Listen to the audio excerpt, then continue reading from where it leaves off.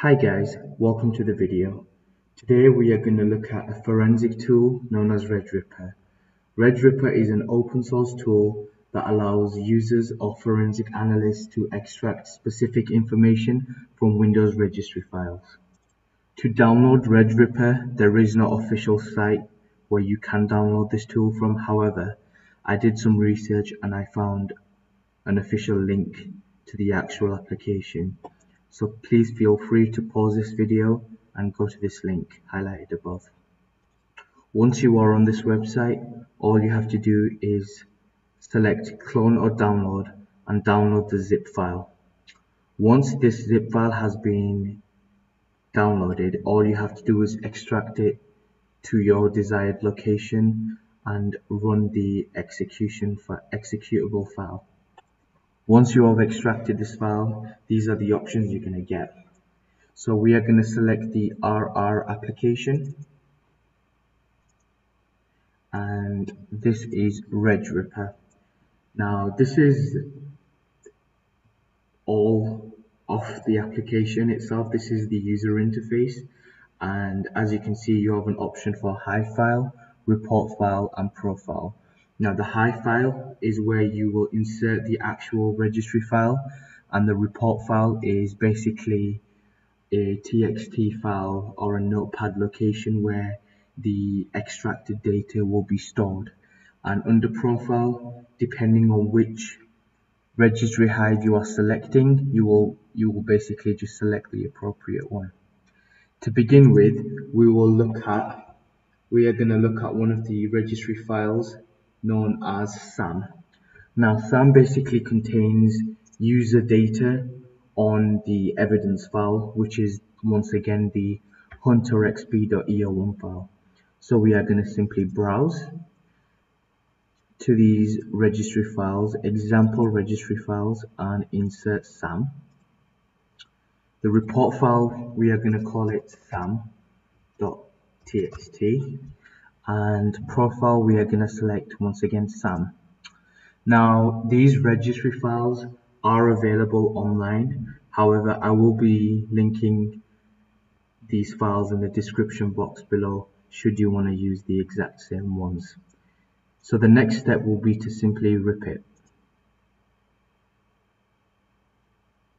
So once RegRipper is has extracted the relevant information, all you have to do is open the files.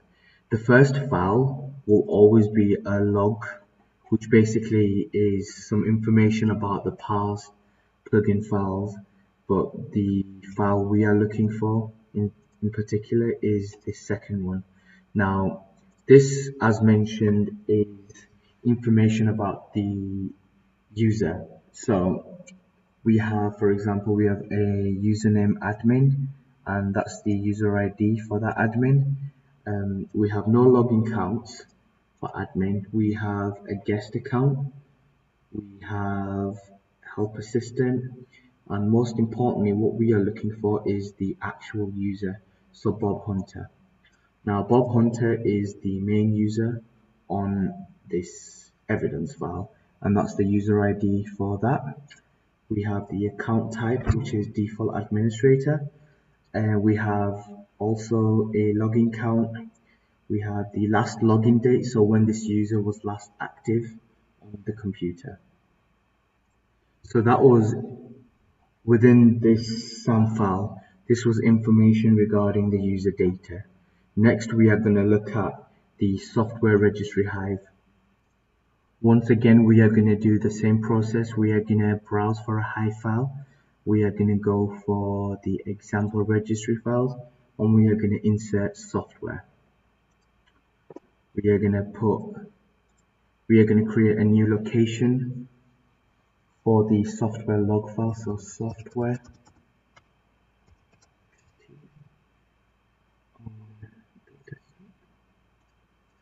and we are gonna since this is now the software hive we are gonna change the profile from SAM to software. And once again we are just gonna rip it.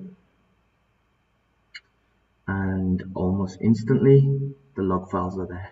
So we are gonna open up the software log file and we are to inspect this further. And once that is complete, this is the result that we get.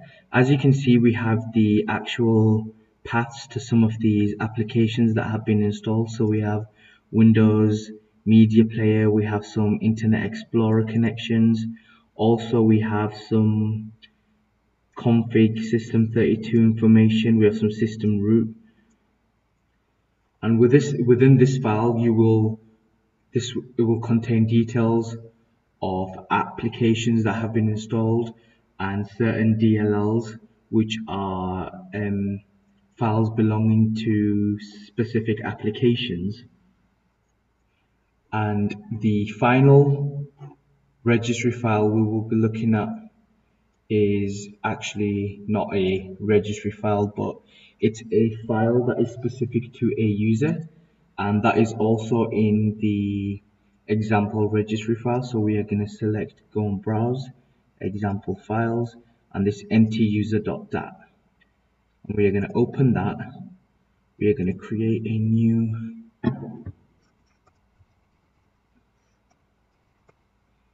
ntuser.dat and we are going to select this for desktop. Yes. And we are going to select ntuser within the profile drop down menu and we are going to select rip it and that is going to create a log. And once that is done we are going to simply open this. And basically this is all the data specific to a user. Now this has all the last written times for certain applications that were open. For example Adobe Reader. We have some names of users. And if we just scroll down to the bottom we have some more information regarding certain users that were on and other applications that were executed alongside their times last written times we have here.